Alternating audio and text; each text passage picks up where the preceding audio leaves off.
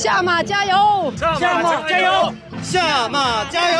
It's 6.30 in the morning. We're at the Xiamen International Conference and Exhibition Center. One hour later, the 2022 Xiamen Marathon will start here. At this moment, about 28,000 runners are ready to go.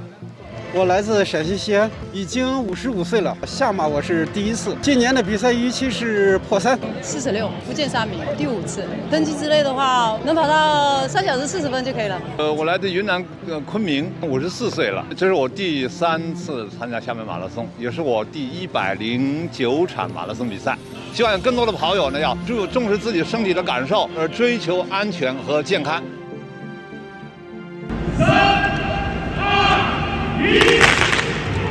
The 2022 Xiamen Marathon and National Marathon Championships kick off on Sunday morning in East China's Xiamen City.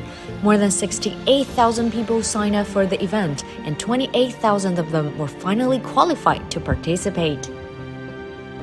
This year marks the 20th anniversary of the Xiamen Marathon. Over the years, Xiamen Marathon has attracted many top runners at home and abroad by continuously optimizing the competitive environment and service level of the race.